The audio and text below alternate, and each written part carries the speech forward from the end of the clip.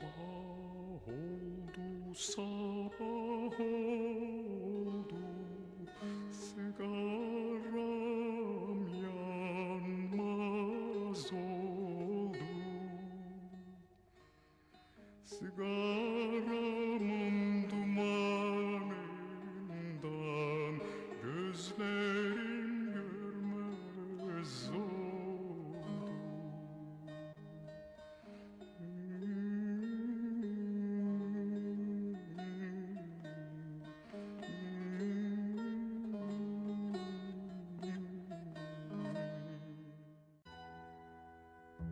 Hükümet böylesine büyük bir ayaklanmaya gerekçe bulmakta gecikmedi. Böylesi bir provokasyonu olsa olsa komünistler çıkarmış olabilirdi. Sol çevrelerden aralarında Aziz Nesin ve Kemal Tahir'in de bulunduğu toplam 47 tanınmış aydın ve işçi tutuklandı.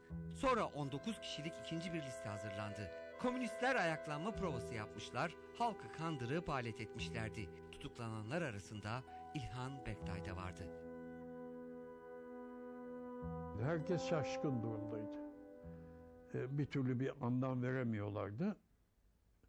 Ve kestirmeye çalışıyorlardı ne olacağını. Ortak özelliği solcu olmaları, ilerici olmaları, bir kısmının da komünist olmasıydı. Yani mahkum olmuş e, insanlar da vardı. Bu Ahmet Fırıncı böyle Laz zaten e, sesiyle böyle enter neyiz arkadaş, enter neyiz diyordu. O aklımda hala. İstanbul yakılmış, yıkılmış, Rumlar perişan edilmiş, ezilmiş. Biz de en fazla üzülenlerin başındayız.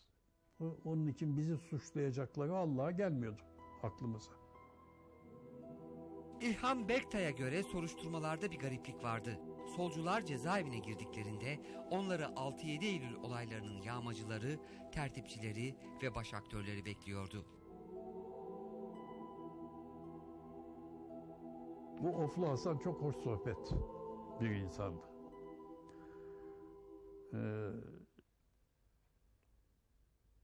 niye bizim aramıza getirmişler? Rivayet muhtelifti o konuda. Bir diyorlardı ki Franguli'den dört bavul mücevher çalınmış. Onu şey etmek için getirmişler. Bir de onu nereden duydum hakikaten bilmiyorum. Ee, bunları oraya getirince kadınlar da var aralarında. Özellikle e, şeyden alınanlar. E, barlardan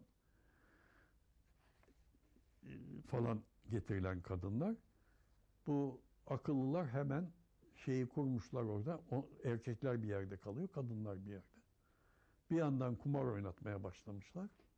Bir yandan randevu işletmeye. Askerin ağrına gitmiş. Bu onun üzerine bize gönderdiler.